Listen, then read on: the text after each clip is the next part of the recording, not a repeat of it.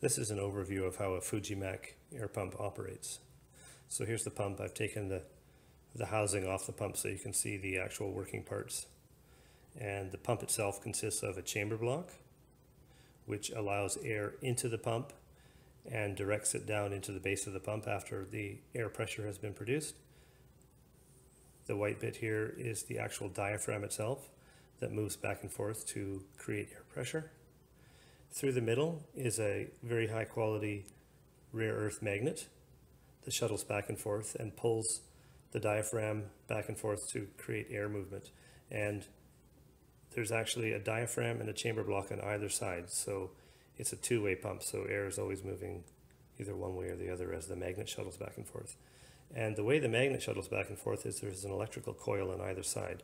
And thanks to our alternating AC current, the coils are constantly reversing polarity. They do that 60 times a second. So every time these coils reverse polarity, the magnet is pulled in the opposite direction and it pulls the diaphragm with it and creates air movement. So this is the actual diaphragm itself. And you can see that it just goes back and forth. Does that 60 times a second. These air pumps generally operate 24-7, so you can see that that translates to millions of back and forth movements in a year. So the diaphragm is not actually rubber. It's a synthetic rubber called EPDM. And every manufacturer has their own formula for creating this EPDM. So the better pumps use a very high quality EPDM. The poorer pumps, they don't have the technology to make this EPDM well and their pumps do not last very long. This is a Japanese pump, it lasts a long time. The black is what we call the chamber block. And that's the uh, valve system.